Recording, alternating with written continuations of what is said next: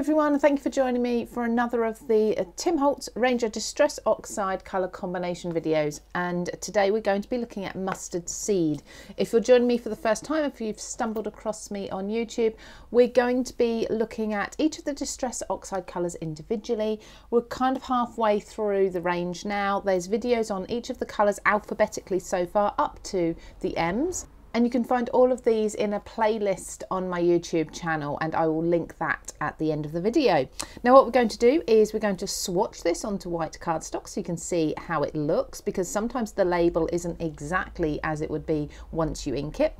We're going to compare it to some other colours in the Distress range around the yellows as well. And then I'm actually going to give you not two but three different colour combinations just because I couldn't choose which ones to show you today using this colour. So let's get started straight away. Don't forget, please, if you are new, I'd love it if you could uh, like this video, maybe subscribe to the channel if this is the sort of thing you like to see on YouTube. And also, if you like anything that I'm using, so the blending brushes, the inks, uh, the blending mats, and of course the colour chart, everything is linked down below so you can find out where to get it.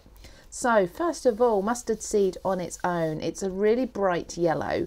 I always thought mustard seed would be more of an orangey, sort of browny yellow, but it's not. It's really quite a nice primary colour sort of yellow. There it is, just blended on its own. Um, really, really love that. Now I'm just going to give this a wipe and we'll have a look at how that compares to uh, other colours in the distress chart, so in the range. Now, first of all, obviously the ink pad is always going to be darker because that is fully saturated with ink. But when we look at it compared to the label, it's actually not too far off. Maybe the label is a little bit lighter, brighter, but this does still have to dry. So it's not too far off. And uh, I've mentioned it lots in my videos, but again, for those of you who are new, the bottom, uh, the bottom left-hand corner and the top right-hand corner on the Distress Oxide labels, uh, because it's a watercolour effect on here, the bottom corner is the solid colour, so that's where you're going to get the, the most likeness, uh, the colour that is most true to what you've got inside. So that's not too far off actually. Sometimes they can be sort of quite wildly different and sometimes they're really, really accurate. So let's take a look at the colour chart. Let's find my yellow. So I've got a couple of yellows there and a couple there. Um, like I say, the colour chart is available for you to download uh, from my website uh, or my blog. You can go and find that now, download this. You can download the labels as well. So, examples, the coloured and the black labels that you can see here are all uh, available as PDF downloads completely for free. I don't ask you to sign up for anything. You can just simply go along and download those and start adding those to your stash. So mustard seed we have here.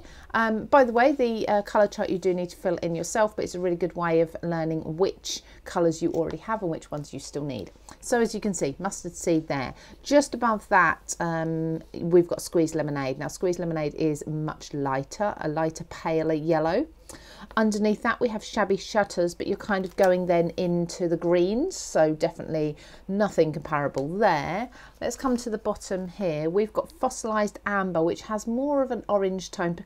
It's not too dissimilar. I think fossilized amber for all of these colour combinations, I think it would probably work. Scattered straw again, we're also looking at a little bit of a creamy, almost an orangey peachy tone to that, although it is still, does fall within the yellows, but it's nowhere near as bright. And as you can see, um, mustard seed is definitely the brightest of the yellows. And then let's take a look at some of these colour combinations that I have created for you. The first one is going to be kind of tonal, as in I'm going to stick with sort of similar colours, just go darker in the range. So I've got here Spice Marmalade and Gathered Twigs. So if you're looking for something that's really quite autumnal, this is going to be absolutely perfect. Now, other colour combinations I have for you, so stay tuned, is a really lovely bright one and one that's really quite masculine as well. So uh, that's why I couldn't really decide what to what to show you today. I wanted to show you sort of lots of different combinations. Um, when you've got something that's as versatile as a yellow, it's really very easy to mix them with lots of different colours and I like to try and show you two different combinations that are very wildly different but there were so many options with yellow. Um, right okay so gathered twigs is my chosen brown so I'm just going to put this into the end and hopefully you can see the reason I've chosen gathered twigs from all of the browns because it does have this sort of warm um, undertone to it. So it goes really nicely into the orange. So let's bring, I've got a bit more orange on my brush here. I'm just going to use this to start with and see if that blends. I've actually got a little bit of orange on the brush there where I don't, sorry, a little bit of brown on the brush. I don't want it, but I'm just going to keep working at this and seeing if I can do it. I probably need a little more orange. I usually try to use the ink that's on my brush first of all. There we go. Well, talking of orange, Okay, so unfortunately the cat did just walk across um, my desk and as she did so, she managed to uh, stop recording. So I have just filmed a huge chunk of this video, which uh, you won't see because I didn't realise she'd stop recording it. But this is as far as I believe we got up to before the cat managed to join us. Now, I think she came because we were talking about oranges. She's a ginger cat, so uh, I think she was um, attracted by that. But either way, I have finished this colour combination for you. So mustard seed, spiced, uh, sorry, spiced marmalade and gathered twigs. A beautiful autumnal colour combination there.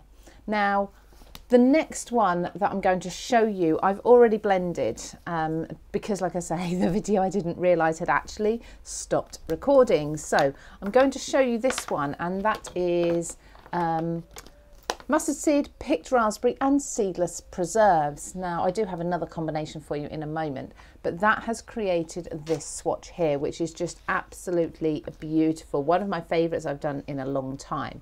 Now it looks like it's actually four colors because the mustard seed, when it's blended into the picked raspberry, we have this gorgeous sort of coral colour going on in the middle, almost an orange in there. Really, really beautiful. And then into the seedless preserve. So it looks like there's four colour combination, absolutely stunning as a sunset or something like that. Um, but they are the colours I've used for your second combination there. And then let's do one more.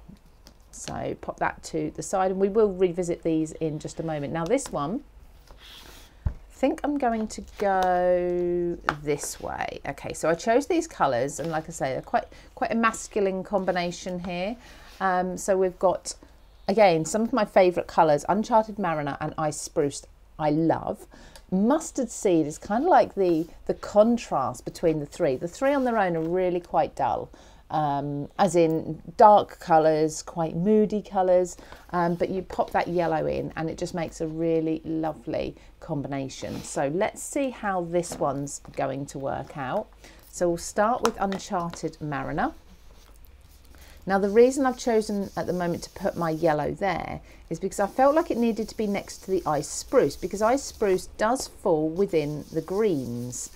Um, and going from blue into yellow would create a green anyway, so it'd have an alternative green uh, if we did that. So then I thought blue into ice spruce, and now I know these work beautifully, which I'll now show you. Um, and then the green ice spruce into the yellow mustard seed will work nicely as well. And just look at this. Look how well those two blend together. They are just stunning, absolutely beautiful.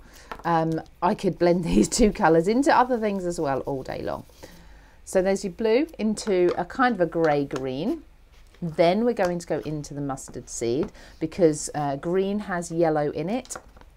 So it does make for a really nice blend into each other. Just dry my mat. Don't forget to keep drying your mat. If you're not sure why, if you're sort of, why does she keep drying them out? Why is it so important? Um, take a look at a video that I've recently posted. It's on my channel there for you. Um, and this is explaining the difference between distress inks and distress oxide, but it's also showing you basically what happens when you mix inks and oxides with water. So uh, beautiful effects, and that is kind of the property that they are most known for but if you're wondering why I'm so um, so sure to make sure my mat is dry before I start blending then definitely go and check out that video and that will explain it all. I'll link that actually up here for you. So uh, I've just realised I've just put ice, my ice spruce brush into my mustard seed while I was talking. If you do that, just take a wet wipe and just give it, just keep wiping it and wiping it. And I will dry this as well until it's all clean. It won't take long. So give it a dry as well. Bit of kitchen towel, make sure there's no moisture on there because it's the moisture that we don't want. There we go. I think that's not too bad. Now I won't go back and use that brush until that's completely dry. Lastly, we're going into hickory smoke. I thought let's finish it off with um, another darker colour, a moody colour, to really make the yellow pop. I think it's going to make it look really beautiful. And I do love to have a contrasting colour within a colour combination, something that is really nice and bright. And this is going to make that really stand out. So just a little bit of grey on the end there. Just mixing the two in so you see you've got that little pop of yellow throughout the colour combination. Now again, all of these combinations, they always look 10 times better once they are um, dried because the pigment, the dye dries, the pigment sits on top, they look lovely and smoothed out. But let's take a look at all three of these combinations. There we go. Let's do a switch around just so you can see the yellow in different areas. So this last one was Uncharted Mariner, Iced Spruce, Mustard Seed and Hickory Smoke. Um, so you can clearly see the mustard seed throughout all three. Definitely my favourite in the middle here, but there's lots of different combinations that you can be using at home within your card making. And don't forget, you don't have to do uh, swatches like this where they've got nice uh, sort of little horizontal blending lines between them. You can just put three of these on a mat, do some smooching maybe, and uh, mix the colours up that way. So there's a different way to uh, play with them. So everything that I've used is linked down below. Don't forget to please subscribe to my channel if you are new. I would love that. And I've got lots more coming up in the way of Distress Oxide videos. And check out the playlist for all of the other colours that came alphabetically before Mustard Seed. I'll see you again with another video. Take care.